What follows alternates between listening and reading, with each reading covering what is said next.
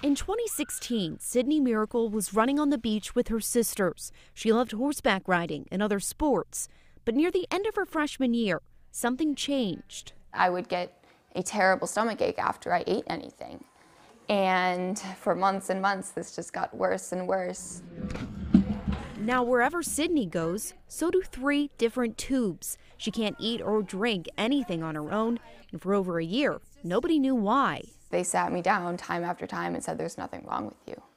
You, it is in your head. Your head is making this up. We didn't have a direction. Uh, we'd go from doctor to doctor, and it was nobody had a diagnosis. Until one day they found a specialist with an answer median arcuate ligament syndrome, or MALS. My diaphragm sits too low, which in turn cuts off an artery and creates severe inflammation, which takes away my ability to eat. Thank you guys so much. Thank you. With an answer came a direction.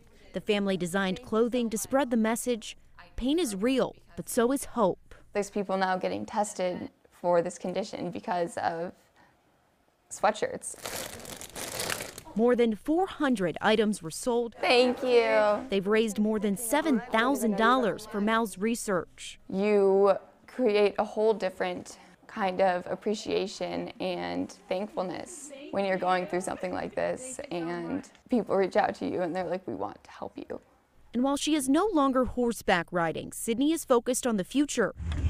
She flies out to Connecticut Sunday morning for a surgery that could have her eating by next week. For every one thing I've learned I can't do, I've learned 10 more things I can. When she kicks this thing, she will be unstoppable.